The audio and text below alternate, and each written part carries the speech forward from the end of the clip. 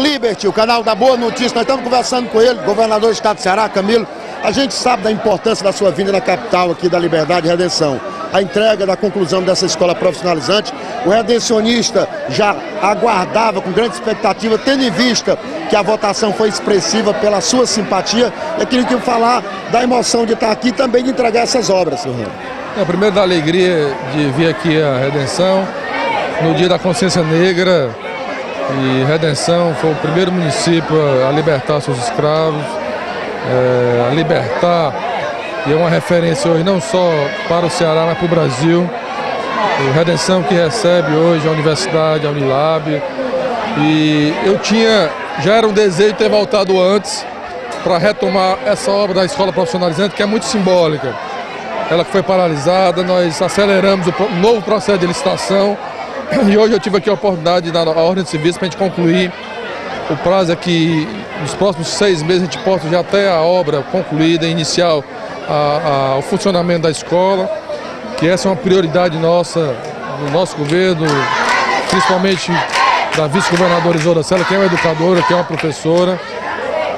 E também dizer que nós estamos é, já buscando as alternativas para que algumas obras que nós tínhamos já em, em, andamento aqui em parceria com o governo federal, que diante da, do contingenciamento de recursos foram paralisados, nós já vamos procurar retomar essas obras, como por exemplo a duplicação da estrada Redenção Pacatuba, é uma estrada importante para o turismo, para a segurança do transporte das pessoas. Eu estou incluindo essa obra, tirando essa obra é, dessa parceria para ser feita pelo próprio Estado como também a obra Redenção Pacuti.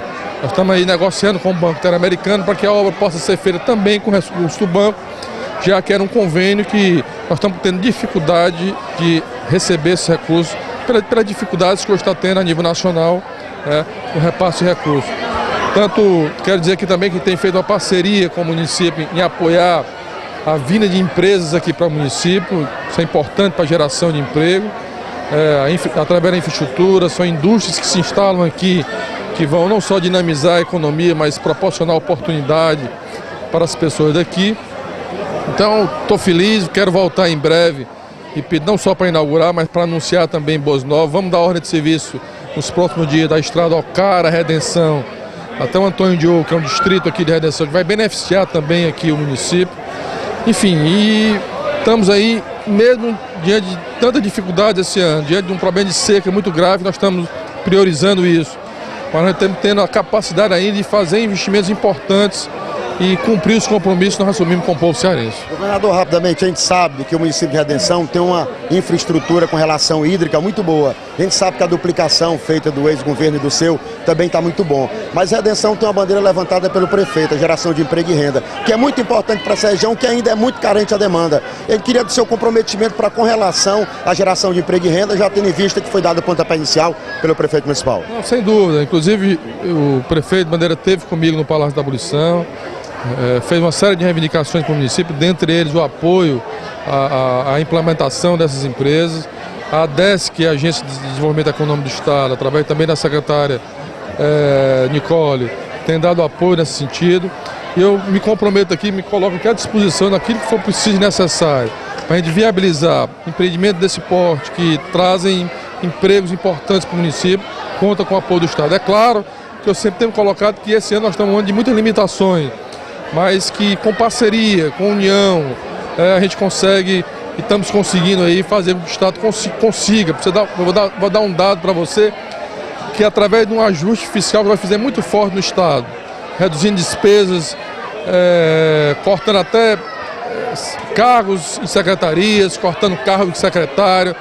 A gente tem conseguido fazer do Estado de Ceará hoje o terceiro Estado com maior volume de investimento público no Brasil. Isso nominalmente. A gente só perde para São Paulo e para o Rio de Janeiro. E a gente sabe que São Paulo e Rio de Janeiro são cidades muito, estados muito maiores do que o Ceará. Então isso é fruto do esforço, de uma boa gestão e de grandes parcerias que nós temos feito. E não, não tenho dúvida que aqui nós vamos manter e fortalecer as parcerias com o município de Redenção. Redenção agradece a sua participação, confia no seu governo, acredita, sabendo da sua seriedade e desejamos que venha mais vezes aqui. Obrigado por essa matéria. Não, sem dúvida, eu quero agradecer. Eu serei eternamente grato ao povo de Redenção, ao povo cearense por terem me dado essa oportunidade de governar o Estado. E a única forma que eu tenho de retribuir esse carinho, a confiança, é trabalhando e buscando as condições para que o Ceará continue crescendo. E é isso que nós tamo, temos, temos feito e vamos continuar fazendo. Se Deus quiser, vamos trazer boas novas e grandes notícias e principalmente que é uma coisa que para nós é uma prioridade, que é a educação. Nós vamos voltar aqui para inaugurar essa escola profissionalizante e dar esse grande presente para a cidade de Redenção.